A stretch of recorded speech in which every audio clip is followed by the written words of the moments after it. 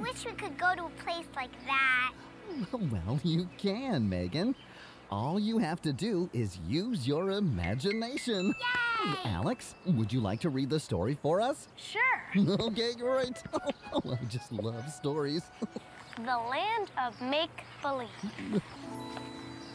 Once upon a time, the king and the queen of make believe received a wonderful present a magical gazing globe that showed wonderful faraway lands. There's one important thing to remember. The king and the queen told the princess, You can look all you like, but don't touch it. Soon the king and the queen left the princess alone with the gazing globe. it's so pretty, said the princess. I'll give it just one small touch. And when she did, something amazing happened. oh my.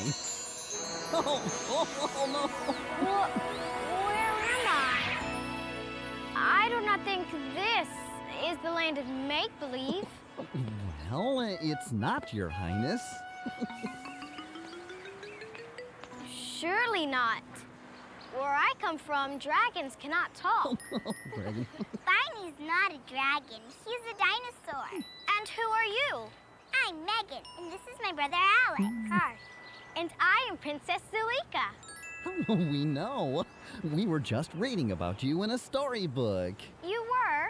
Uh-huh. It said you touched the gazing globe, and poof, here you are. My father said I shouldn't touch it.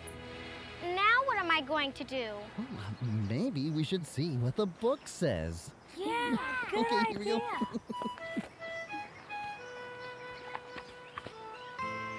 King and the queen realized their daughter was gone, their hearts were broken. Oh, What happens then? I don't know. The rest of the pages, they're empty. Oh no! How will I ever get back home? We'll help you, won't we, Barney? oh, of course we will. Oh, I'm sure we can get you back home. But